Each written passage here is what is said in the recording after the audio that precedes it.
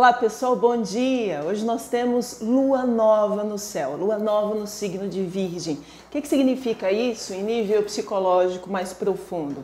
O sol é a razão, é a consciência. E a lua é a emoção e a inconsciência. Quando a gente tem esses dois luminares e essas duas potências interiores dentro da gente, a gente tem um momento muito propício e muito potente, seja ele físico, mental ou espiritual. Então a gente aproveita esse momento para plantar novas sementes. Em toda lua nova, todo mês, a gente tem a oportunidade de plantar uma nova semente. Por quê? Porque a gente está potente, forte dentro da gente para a gente iniciar um novo, um novo projeto. E essas sementes podem ser muitas, podem ser ideias, desejos, sentimentos e projetos efetivamente. No signo de Virgem, nós estamos falando de vários assuntos, entre eles trabalho, saúde, estudos, o aprimoramento humano, sob todas as suas vertentes. É um signo de aprimoramento. E é um signo que pode, inclusive, fazer alguns sacrifícios em nome desse aprimoramento, seja dele ou seja das pessoas que ele ama ao redor. Então, todo mês a gente tem essa oportunidade, a gente vai plantar essa sementinha e a gente vai ver esse ciclo é, acontecendo. Então, ele passa pela lua nova, passa pela lua crescente, passa pela lua cheia, quando ele finalmente pipoca, aparece, a gente vê né, essa, essa semente brotando, nascendo, é, surgindo uma flor bonita. Depois ele vem para a lua minguante que é onde ela se desfaz e aí a gente volta para a lua nova. Então são vários ciclos que a gente começa e termina durante o ano. Esse aspecto dessa conjunção entre Sol e Lua em Virgem estão num aspecto favorável e interessante com Júpiter em Capricórnio. Júpiter é planeta de sorte, de expansão, de sistemas de pensamento. E em Capricórnio a gente está aliando dois signos do elemento terra. Então as coisas do pragmatismo, da matéria, as, as questões relativas a trabalho estão favoráveis sob esse aspecto. Então, colocar energia sobre essas coisas, sobre esses assuntos, pode ser algo muito interessante. É, esse aspecto de lua de lua nova, ele tem aspectos fluentes e aspectos não tão fluentes assim. Este em especial está emparedado, está entre o nó do norte e o nó do sul.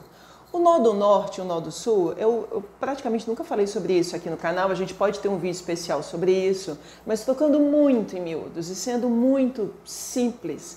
A gente pode imaginar, simplista, a gente pode imaginar o seguinte, que o nó do sul é de onde a gente vem, então pode ser a nossa perspectiva passada, as nossas memórias passadas, experiências passadas, seja dessa vida ou de vidas passadas para quem, quem crê.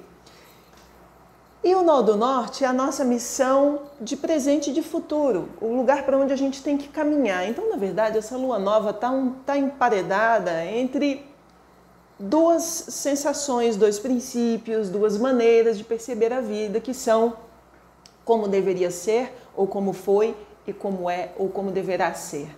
Então, ele está um tanto.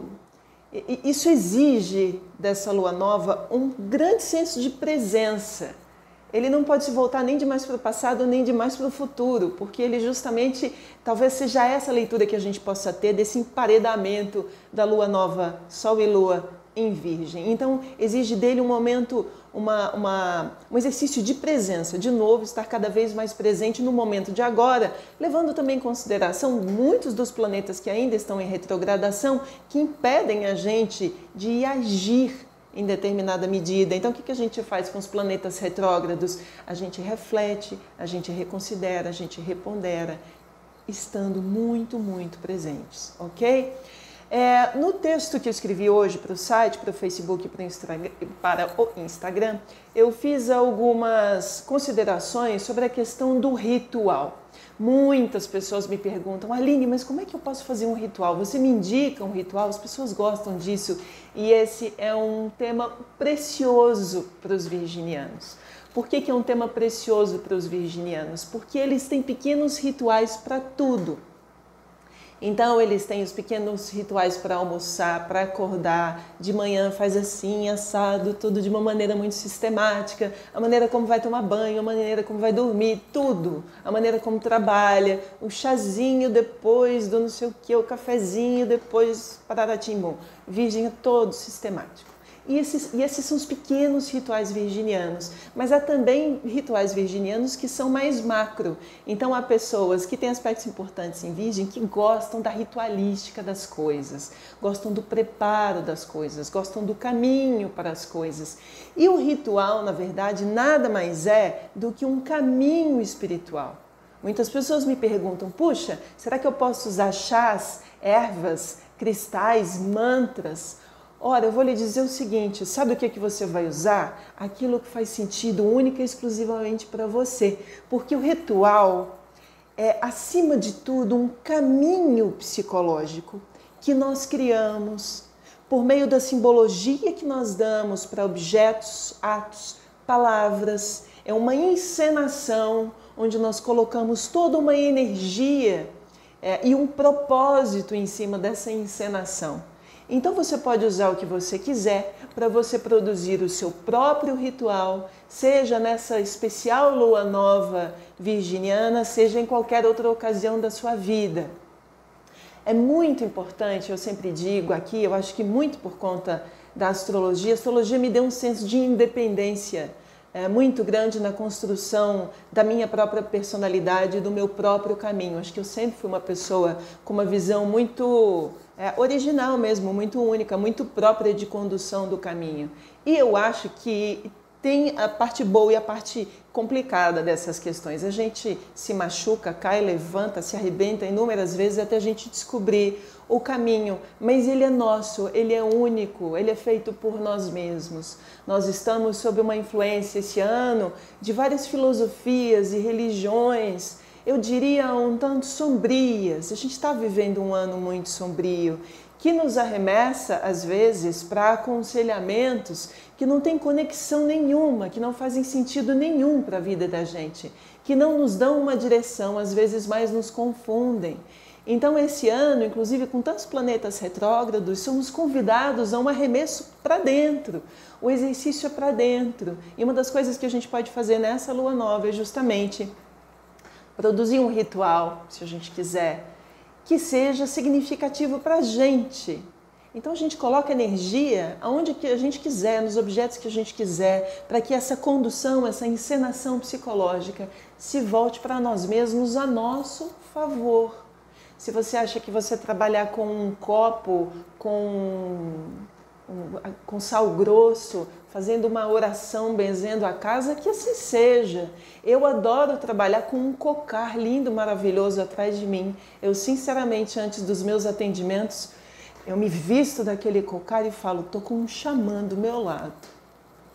É um, é um ritual particular, é uma sensação particular, é uma é uma simbologia que adere, que cola e que me traz poder, me traz um senso de poder, poder positivo no sentido de poder compartilhar, ajudar e aconselhar, porque é isso que eu faço. Há pessoas que acreditam em alianças, alianças de casamento. aliança é um símbolo tão forte, tão potente, algo circular que nunca termina. Né, e que produz uma aliança, você tem uma aliança com uma outra pessoa, nós acreditamos em objetos e eles se tornam mágicos para nós. É disso que eu estou falando, dos nossos rituais particulares, com todas as nossas simbologias e que são muito importantes nesse ano sombrio de 2020, que a gente procure as nossas, tenha as nossas próprias experiências e que a gente toma, tome, tome pé da nossa evolução espiritual.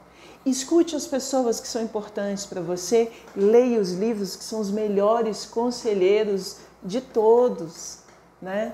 É, para mim são super conselheiros, são meus grandes amigos, eu converso com eles todos os dias e encontre o seu próprio caminho. Seu caminho não é nem fulano nem beltrano quem vai dizer, é só você quem vai dizer. A gente vai sentir uma verdade vibrando dentro da gente. Quando a gente encontra sentido nas coisas, a gente se acalma, a gente relaxa, a gente apazigua o coração. Esse, é, essa é uma das impressões, dos sentimentos que valida a certeza, algumas certezas pelo caminho, algumas, né? Porque a gente nunca tem certeza plena e ainda bem que não tem. Tem a questão do mistério da vida também. Mas a gente precisa confiar no nosso próprio caminho, nas nossas próprias escolhas, na nossa própria direção e na nossa própria busca, sem terceirizar as nossas, os nosso, a nossa evolução espiritual para o outro.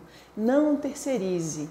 Como eu disse, escute pessoas, leia, medite, faça o seu caminho pessoal. Agradeça a todas as pessoas que contribuíram para a sua evolução, mas a sua evolução é só sua, de mais ninguém intransferível.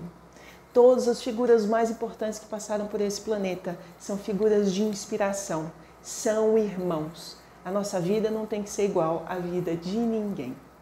Então, construa o seu próprio ritual, aproveite essa lua, nova em Virgem e transforme a sua vida, às vezes nas pequenas coisas até as coisas maiores. A gente vai fazendo isso aos pouquinhos, ok? Eu tenho certeza que algumas pessoas vão acabar se frustrando com essa história toda. Acho que muita gente esperava que eu falasse: bom, faça o ritual XPTO, pegue uma bacia virgem, mate um sapo e coloque duas latas de mel e costure não sei o que. Não, nada disso. nada disso. Nada disso faz sentido nenhum. Só você vai saber dos seus rituais que podem ser de toda a natureza. Combinado? Quero ouvir os comentários de vocês. Se vocês quiserem compartilhar os rituais de vocês, alguns pequenos segredos, coisas que fazem sentido na vida de vocês, é, nas suas ritualísticas ou diárias, ou às vezes em momentos muito específicos, compartilhe com a gente, vamos trocando. A gente se encontra de novo amanhã. Que o céu nos guie e que o amor nos transforme.